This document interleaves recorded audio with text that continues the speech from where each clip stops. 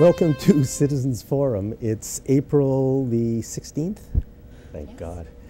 And uh, the first segment of Citizens Forum this week is going to be um, talking to two members of uh, Victoria School District 61 school trustees, the school board. This is a tremendously important issue, and I think you're going to be a little bit surprised um, about, you know, some of the things that are going on school board wise.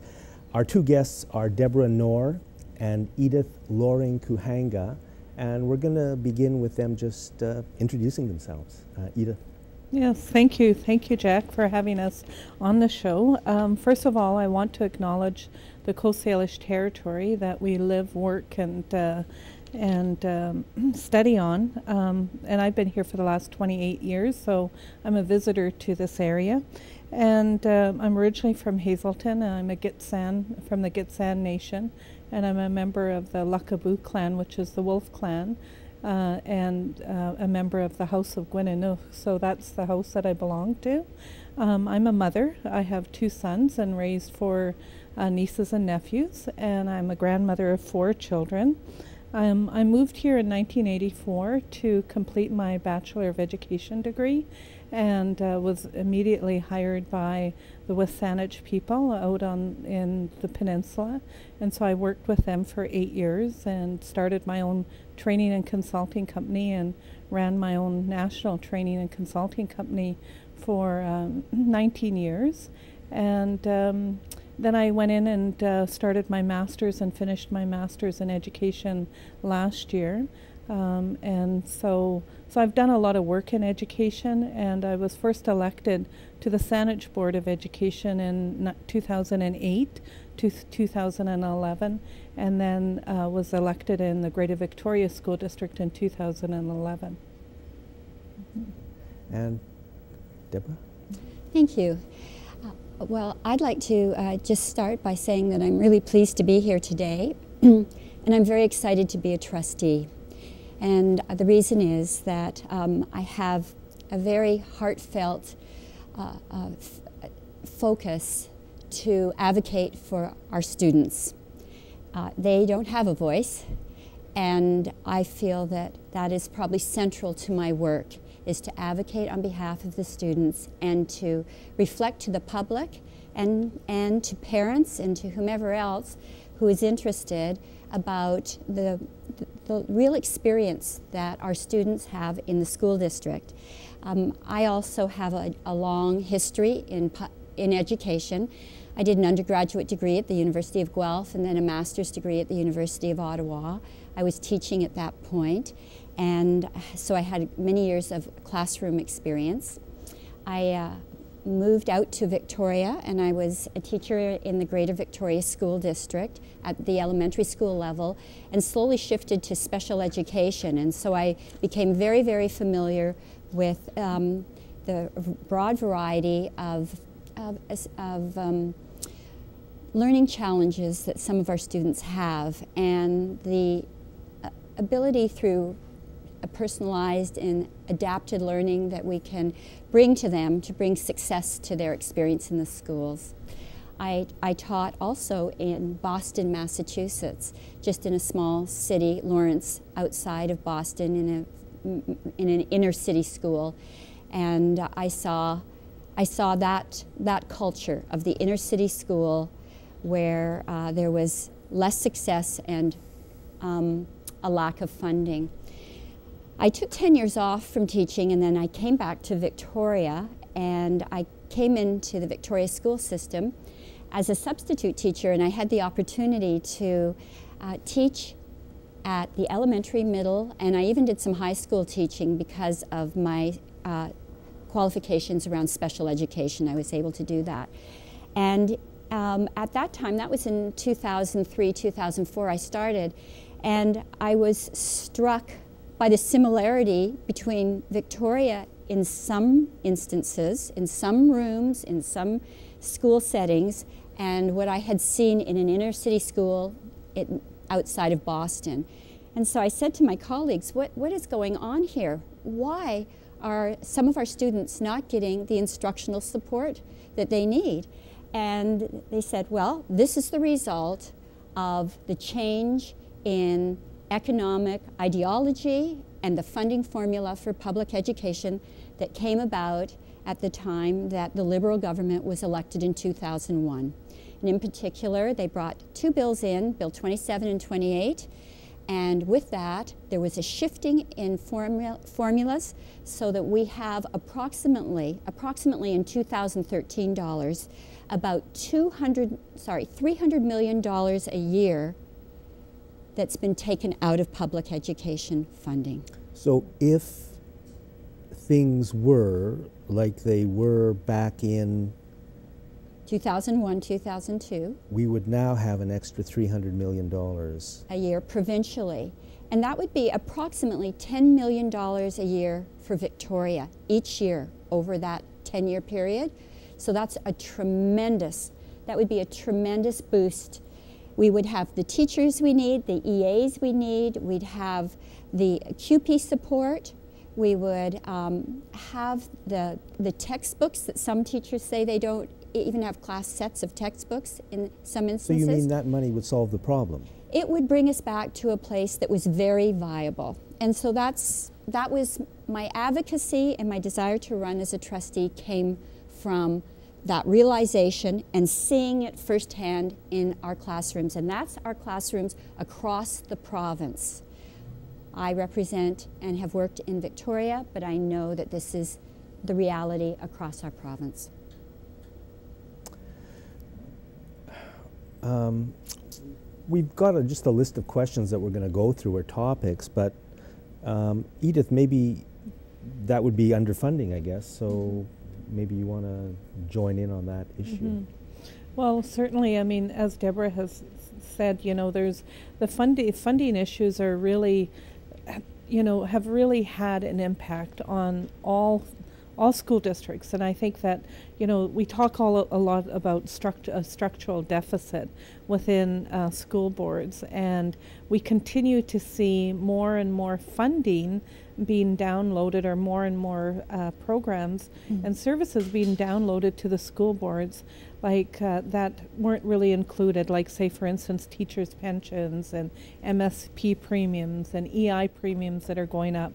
So we continue to see things that are continue to impact our, our kids and um, you know and so you know, I look at we're having a budget meeting that's coming up on Wednesday, and looking at some of the figures. I mean, of you know, a little over a million dollars, a million and a half dollars that are that is going to be cut from materials and supplies. And you know, one of the questions I have about that is, what does that mean? What materials and supplies are being cut in order to try to balance the budget, right? So, so Victoria School District, for the upcoming year, mm-hmm. you're cutting a million and a half dollars out of materials and supplies. Yes, and the structural I, I just want to throw in here. Okay, I just want to throw in the thing. The term teacher burnout was mentioned in here. Mm-hmm. Do you want to mm-hmm. just talk about that, or? Yeah, and you know the the I, I, was talking to Deborah, and Deborah was talking about sort of the the teacher burnout. Maybe she could mention that. Um, mm-hmm. So uh, okay, the, the most recent uh, figures around that is that within five years of new teachers coming into the profession, 50% of them are leaving the profession. And that, that is in large part due to teacher burnout. We have young teachers who come in with passion and they have an idealized commitment to, to teach children and to be committed to their positive experience in the school system. And they walk into a class and they're overwhelmed. They do not have the aid time, the educational assistant time to support some of the, the students.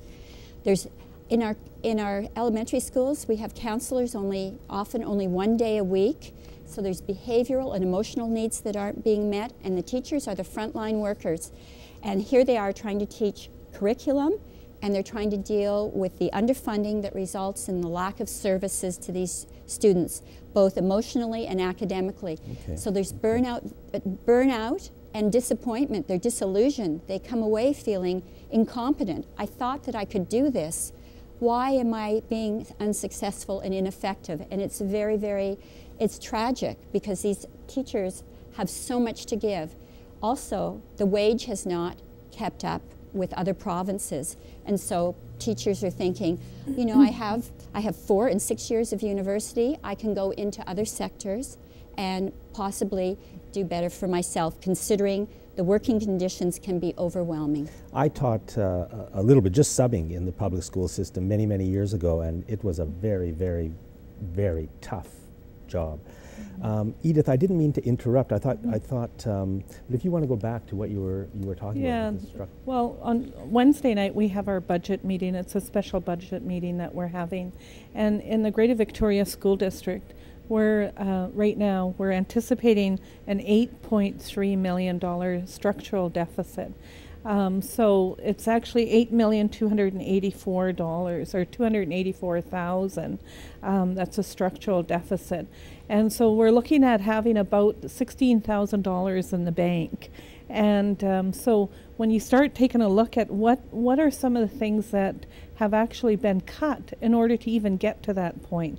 So we have like, um, you know, as, as I mentioned, 1.7 in department budget savings, which is basically a lot of materials and supplies. 1.7 million. Yeah, yeah.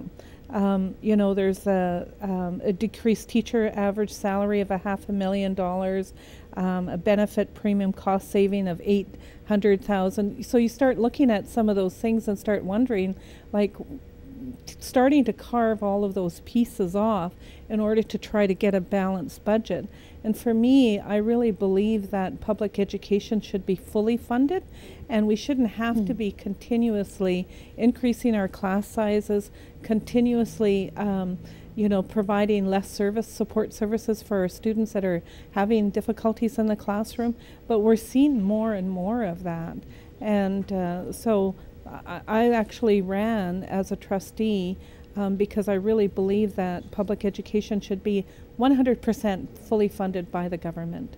Um, and we shouldn't have to go through fees and we shouldn't have to go through, um, you know, raising money and applying for money in other ways like international education to offset public education in BC. Well, I think um, just I mean, just, in, just I'll just throw my opinion. I, I think just as you know, the, there there has been, I think, we can edit. The, just as there has been, I think, an attempt to basically stress out and damage and destroy our public healthcare system. Mm-hmm. So there seems to be an attempt to stress out and damage and destroy public education. I think there is. I think there's absolutely a parallel there. Mm-hmm. We have um, ads on television where nurses are saying, am I supposed to go to the person who's just come out of surgery? Or should I address the patient who is in intensive care? Or should I you know change the, the tubing on somebody uh, down five rooms from there? I think teachers have exactly the same experience. They hit the ground running in the morning. They have far more than they can manage in a day but they are doing the best job possible. Our teachers are tremendous, have a tremendous energy and a tremendous commitment. Our EAs do, our CUPE workers do. But I would like to say that when we undertake the responsibility to care for our children, emotionally, socially, and educationally, we cannot be driven by the bottom line. Mm-hmm. It is just absolutely um, immoral to have this corporate agenda that squeezes dollars out of the system that are essential. And uh, we cannot continue to underfund public education. We have a moral imperative to take care of our, our children. Mm-hmm. And uh, it's an equity issue too, because what happens when there's underfunding, and we've had 10 chronic years of under, chronic years of underfunding, we never have all the money we want, but this has been 10 years of chronic underfunding. Then we have a situation where those schools in the um, higher uh, socioeconomic, socioeconomic demographic. We have parents that are stronger advocates. They do more fundraising in their PACs and pull in 20, 30, 40,000 dollars for the books in the library, for the uh, field trips, and they have parents who can drive cars and take them on all these field trips. But conversely, in the areas where we have a lower socioeconomic demographic, we have parents who often have not been particularly comfortable in public schools, and therefore it is a challenge to come in and advocate for their children. And it, there's no doubt that there is a growing disparity. The squeaky, confident wheel gets whatever dollars are being carefully um, given out. And so every child deserves equity in their learning experience. And so we need to have the full funding to allow that to happen because right now the system works in favor of those that have the privilege of stability in, the, in their, their economic situation. You know, I grew up in a, I guess what you'd call lower middle class neighborhood, mm -hmm. but there never seemed to be a shortage of money in the schools. I mean, we had great schools. I think, even though I wasn't a big fan of being in school, mm -hmm. the facilities and the teachers and the money was there. And that was, that was, I think, one of the things that made Canada a great country. And it's being destroyed quite deliberately by the mm-hmm. people who run the country. I mean, it's, it's not happening by accident that we have record bank profits and no money for our schools. Mm -hmm. Uh, um, Edith, no. so there's a list of questions here. I'm not sure. You just mm-hmm. pick the one you yes. want. And I was just going to say, and, and I think that the, the big thing is is sort of recognizing the investment that we put in our children is what we get back in the end. And as long as we're not investing in our children in the fullest sense possible through education, mm. then we see the consequences of that. And I think that Mary Ellen LaFond, Turpel-Lafond, has done an incredible job with um, taking a look at uh, sort of some of the issues that our children face in the criminal justice system and uh, being in care and lack of education and the correlation between all of that.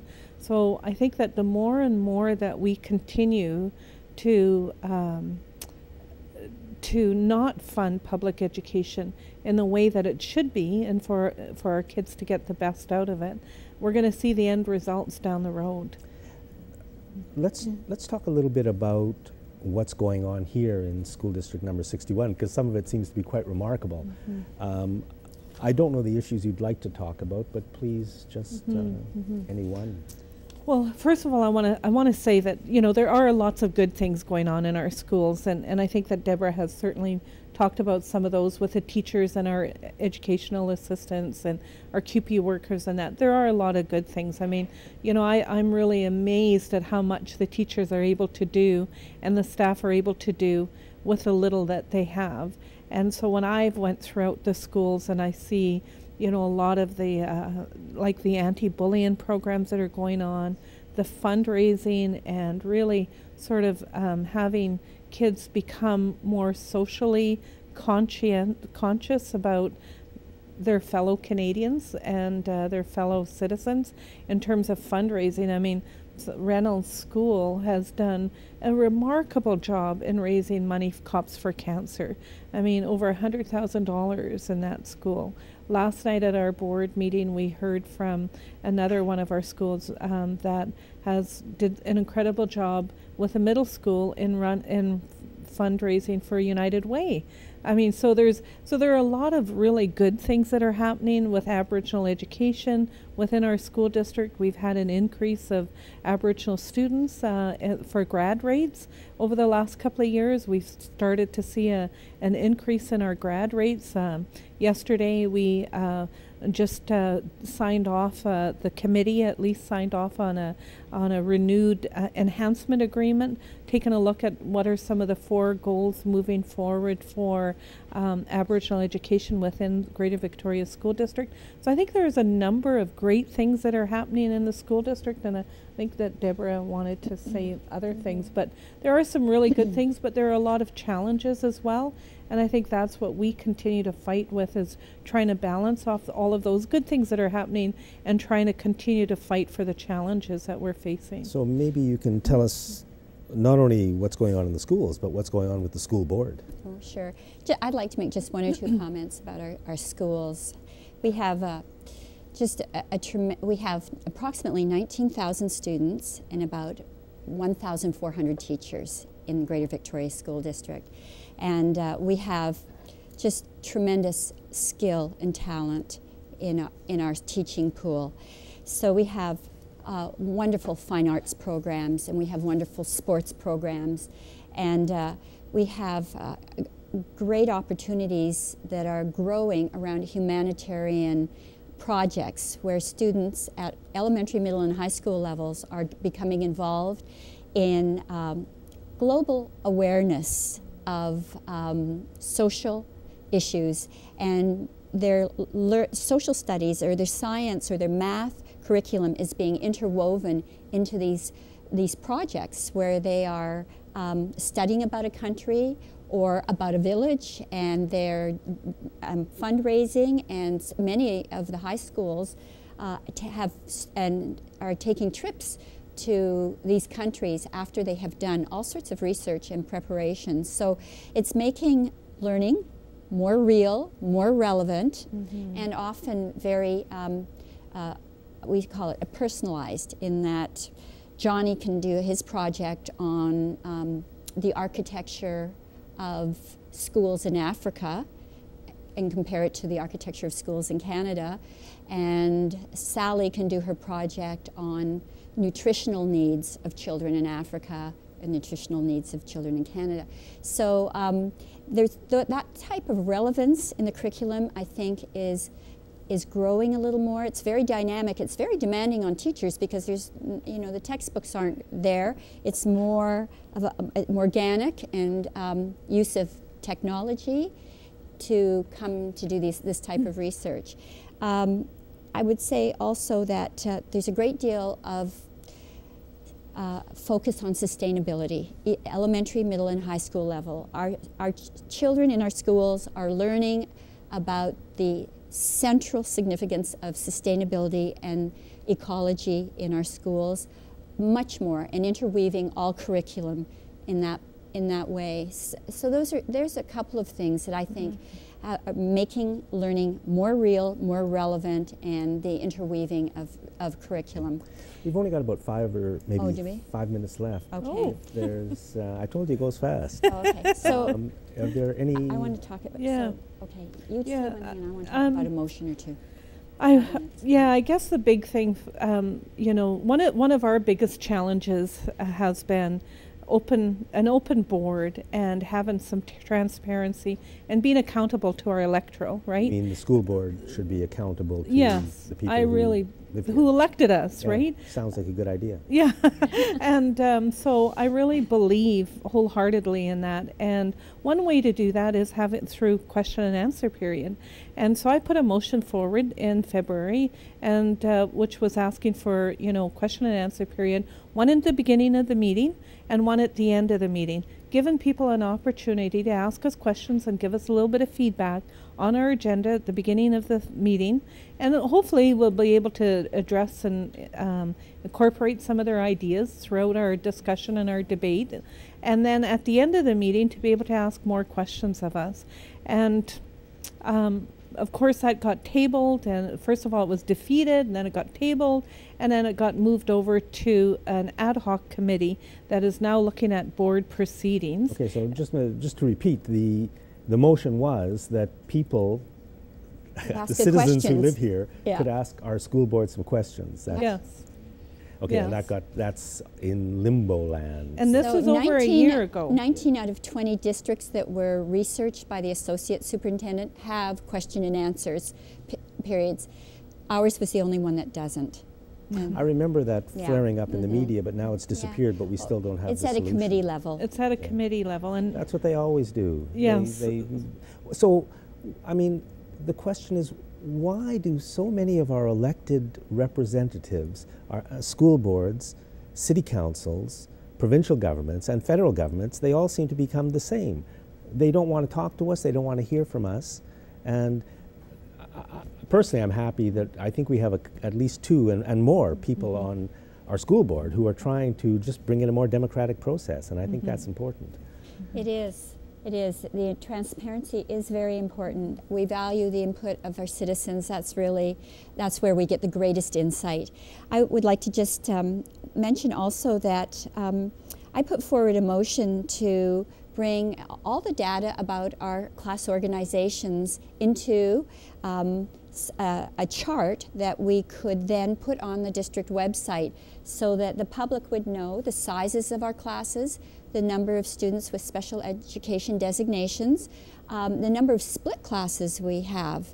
And we have a growing number of kindergarten grade one splits, and that's a very, very, very challenging split that teachers have come to the board and expressed their concerns and said, please don't do this. This is kindergarten is play, grade one is focus on reading and shifting into um, a, a more settled approach to learning. And uh, yet they're growing in our district. So I brought, I wanted to ESL wanted to let students and people gifted see students. the numbers of what's going Yeah. on in the classes. and okay? um, so it was vote. It was voted down. So our school board voted down a motion to let the public see what's going on in our classes. And we don't even hear about it because I won't talk about the media, but why doesn't the media report on this? Why isn't this front page news? This is important stuff.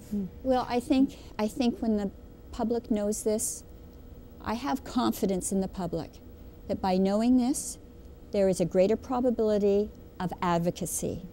I need to hear from parents. I want parents to write an email to the MLA and say, our funding is not sufficient. Here are three things that I saw in the report on class organization. I'm troubled by this. We need to have more people informed so they can be more effective in their advocacy. We need we need people that uh, we need people attending our board meetings, right? So they can really understand what's going on at our board table. But one of the big things is is being being able to be open and honest and transparent, and you can't do that behind closed doors. And uh, so you know a lot of our motions that we've been bringing forward is be is uh, being accountable to our public. And uh, like I've said, I've said this at, at several board meetings. I don't feel that I should just be accountable every three years when I'm seeking re-election. I want to be accountable every single week, every day that I'm sitting at the board table. And I feel that we all have to be accountable. We need to be able to have the public be able to ask us questions and be able to respond. And if we can't do that, then why are we elected to be representing them?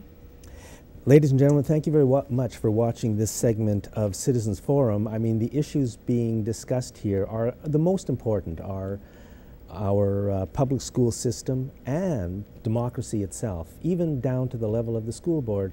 Is it accountable? Is it giving us what we want?